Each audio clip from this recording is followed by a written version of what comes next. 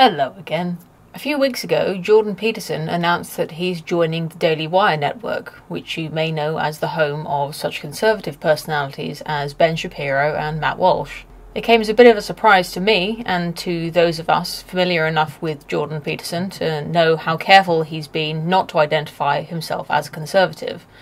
But that's not even the weirdest thing about this career move. He started releasing videos in a new format. He now speaks from a script, he films in a studio, and he's delivering his message in a kind of stern, serious tone of voice. All of that conversational, ad libbed, ram- slightly rambling storytelling and the way he used to pick through subjects with a level of uncertainty, uh, which kind of endeared him to his early audience, it seems to be completely gone. I would have thought that if he were going to radically change like this, it would be as a consequence of his harrowing health troubles in 2020 and 2021. But that seems to have left him relatively unscathed in the long term compared to what a few weeks at the Daily Wire has done to him. As disappointing as it is to see an intellectual I respect lose some of his charm and his relatability, it has helped me to understand more about what made him likable in the first place, and what makes self created videos like YouTube, Twitch, and TikTok popular as a medium. These video social medias, which I'm just going to call YouTube for the sake of brevity, there are lots of things that a YouTube video can be, and lots of entertainment appetites that it can serve. But where YouTube really shines is how personal it can be. As well as hearing someone's ideas, you might also see the person who actually had those ideas or who's telling you about them. You might see their office or their bedroom that they're filming in.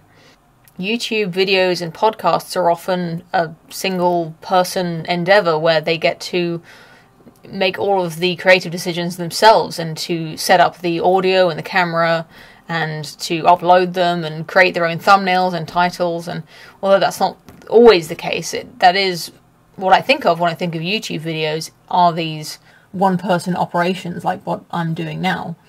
And in Jordan Peterson's case, it felt like we were also getting to see him working through the ideas in real time.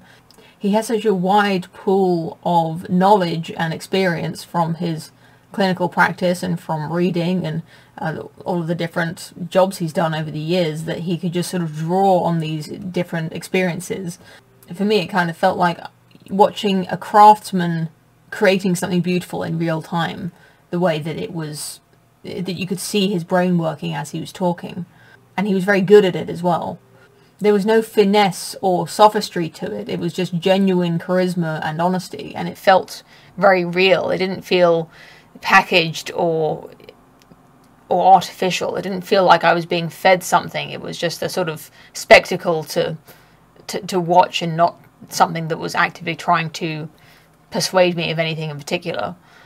In some ways, it seems that the amount of work that goes into the presentation it does have an increase in the visual appeal and the audio quality, but there is something lost in the in how relatable it is now that Jordan Peterson is filming videos in a studio and that there's multiple angles of cameras with him, I kind of can't help thinking about the possibility that he's filmed multiple takes of this video and that he's trying to get his his severe tone of voice just right. I'd much rather see him pointing the camera up his nose and fumbling with the start button at the start of every video like Simon Webb does if it just meant that I could see him truly expressing himself and all of his weird thoughts. Having a rough presentation, like in History Debunked, makes it feel like there's nowhere to hide and that he has nothing to prove. There's nothing for sale, and the viewer is just invited to listen or to go away according to your level of interest in the subject thinking back to the kinds of videos that Jordan Peterson made that made him famous in the first place, he did have a few of these more scripted, more serious videos, but I think it, it would have meant nothing if he hadn't had that back catalogue of lectures about uh, Pinocchio and about uh, those hours and hours of um, just him standing in front of a classroom, walking back and forth with with just a lot to say, talking to his students. I think we in his earlier audience really enjoyed the the way that he went off topic and the way that he would make jokes and laugh at himself and put in these little anecdotes about his own experiences. And if I really put my mind to it, I think it has been a few years since I've seen him do a really good lecture in that style that I uh, really enjoyed in uh, 2017 and 2018.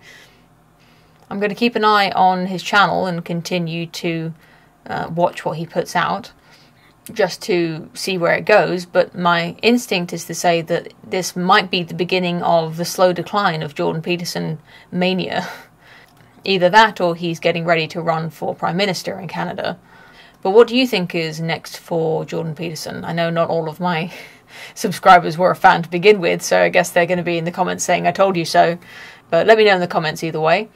Um, do you think I should get a set? I could pile up some logs or get a a fireplace, put an animal skin on the floor, sit in an armchair with a, a glass of wine or something. What do you think? I think the staircase has kind of become a brand for me, but I do sometimes long to escape into a full sized room. I don't think I'm in any danger of the Daily Wire knocking on the door to uh, to ask me to sell out for, for their network, but uh, I think I might be sorely tempted if they did. acknowledging that my tweet violated the Twitter rules. Up yours, woke moralists. We'll see who cancels who. Remember to watch Women's Hour Fridays now on this channel, and hope you'll join us. Say hello in the chat if you're joining live, or catch up later and watch it as a podcast. Hope you have a great day. Thank you very much for watching. I'll see you again soon.